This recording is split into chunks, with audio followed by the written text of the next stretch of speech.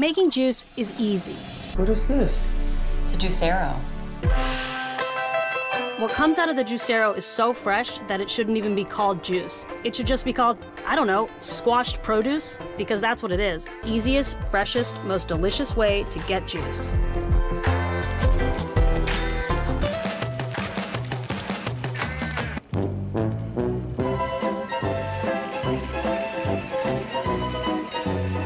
Ready?